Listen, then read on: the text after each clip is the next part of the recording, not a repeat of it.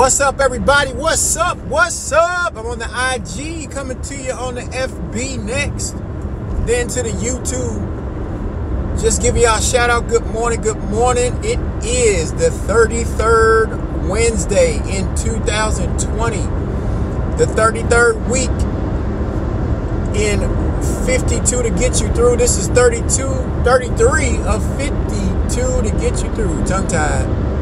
33 and 52, 20. It's Wednesday, it's Hope Day. It is actually August the 12th, 2020. You know, I haven't been on the IG and the Facebook for a minute with lives, but we're going to keep it that way because I'm doing YouTube now. Go ahead and subscribe to my page. A lot of y'all know where it's at. But I love y'all. It's Darren D. Price's syllabus coming at you on another blessed day, y'all. Can y'all smell that? Y'all here? Can y'all smell it? Y'all smell it? It's blessings. Woo! It's faith. It's glory. It's grace and mercy. So I'm coming to y'all again with a quick shout out. I don't really have um, nothing to say but great things as always. But I gotta let you know, in case some of y'all never seen it. Y'all can subscribe to my YouTube page. That'd be cool. That'd be great. Enjoy yourself. Uh, a lot of great videos, positive motivation, a couple songs on there, a couple lyrics, but some good knowledge, good facts, good wisdom for everybody. 100,000 people die every week. At least that's what the numbers say, give or take. But it's always um, something to somebody. Doesn't matter how, whether suicide, disease, disease, whichever one is going to happen, it's bound to happen. And that's the whole thing that we got to understand that no matter what, one day you're going to get your ticket punched to take that final flight. However, it happens. But I'm here to deliver some hope, help other people excel, have that faith by forwarding all issues to heaven, and knowing that God has got your back, front, side, top, and bottom no matter what. And it's not going to change. So I just need you to be aware of that first and foremost. And I'm just dropping a nugget or two on y'all this morning. It's a little early, just out taking care of some things. But y'all see me talking about residual income. Y'all see me talking about faith. See me talking about investing in yourself and loving and believing in yourself. And that comes with a lot of work. But don't be stuck in this poverty mindset. And some people can't help it because of their environment. But some people can change their environment and it starts in your mind, it starts in your spirit, it starts in your heart and your soul if you really want to do it. So, no matter what your actual surroundings look like, it's about how you perceive it. It's about what you're going to do about it. Life is 10% what happens to you, but it's 90% how you react.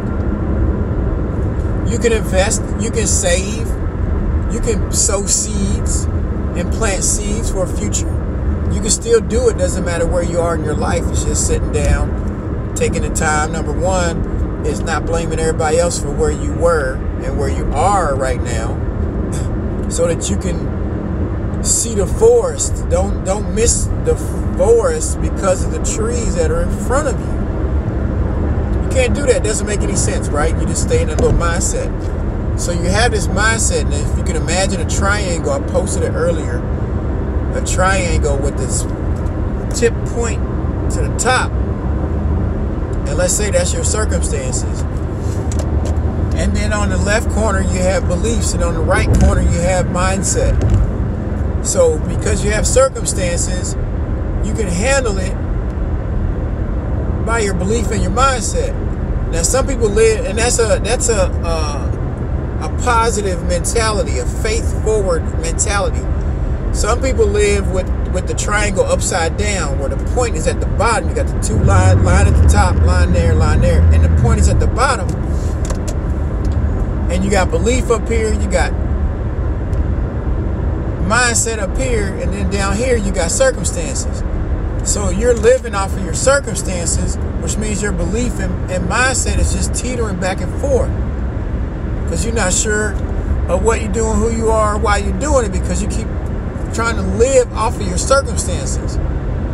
So you got to change that. You got to change that mentality because that's a fear mindset. The faith is taking your circumstances and working and living off of your belief and your mindset because that's your foundation. Don't make circumstances your foundation, is what I'm telling you. It's not worth it. If you have been, look around. If you want something different, you got to do something different. Want different results, guess what? You got to do something different, right? so because you're still breathing, because you're still living, you have the opportunity to do that. It starts right now. Starts today, immediately, right now. So you have that opportunity to do it. So I'm encouraging you to do it. I just stopped by to tell you, you can still do it. No matter. You're still here. You're still breathing. Doesn't matter. We made it this far. God ain't just drop us off to leave us. He gave us free will to choose to have a positive mindset or a negative mindset. And we know positivity is, is God based. And we know a negative mindset is of the evil spirit and that's the devil. So you got to think. don't let the weapons formed against you be confused about the weapons that you formed against yourself. So we got to remember that. First off, we always trying to blame other people for what we've been through, what we dealt with, and and so on, different things like that. And you know, some people did cause situations, but it's how you respond to those situations, or do you even respond to them at all? you're blessed, number one. If somebody's telling you anything negative, if somebody's spewing hatred at you, whether it's through text message, email, phone call, or just telling you that you're never going to be nothing or that you did this, that, and the other, if you did it, okay, it's in the past. But don't let that make you what you are today. Some people want to hold grudges. Some people don't want to forgive. But the thing is, they don't want to forgive themselves. It's not necessarily you. Some people still want to live off of the past. Some people are mad at the decisions that you made because they didn't make the decisions when they had an opportunity to make the decisions. So you still have the opportunity to make a difference. Now, some people get mad because you make decisions because they may have said, Well, I don't have to make a decision. I don't have to give any input. I don't have to make a decision. I don't have to. You're right. Nobody has to do anything. But when you make a decision, you go with that decision, especially when you know you've extended your hand to, to accept input and advice and people don't give it. You make that decision and you stick with it and you go for it. No matter what. Don't let anybody tear you down because they had an opportunity. And when opportunities keep coming for you, it comes for everybody. So instead of dwelling on what happened in the past and what decisions that weren't made, now look at the opportunity that's come by you again to receive increase, to make a choice, to make a better move than what you didn't make before. Stop holding yourself in this grudge and holding the coal in your hand. You got to make a decision.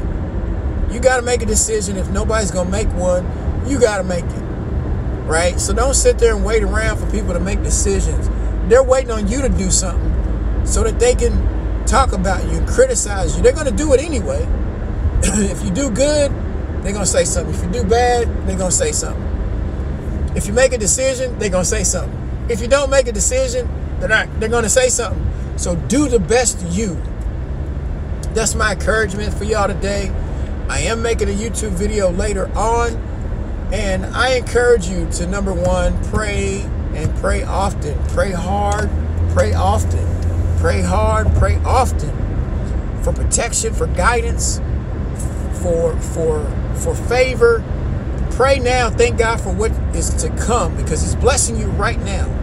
I promise you He's blessing you right now. You may not see it, it may not come the way you think so, but He's blessing you right now, blessing everybody around you. So may God bless your day. Bless everything and everything that you do in the favor of Him. Don't be selfish. Be loving. Be kind. Be gentle. Be forgiving. Forgive yourself first. But don't surround yourself around negative people. It's not worth it. Anything that you put out there in the earth is what you're going to get back. So if you spew a negativity and hate, you're only doing it to yourself. So I love you guys. Peace out. Stay up. Happy Hope Day. Help other people excel today because there's no other way. Love you guys. Peace out.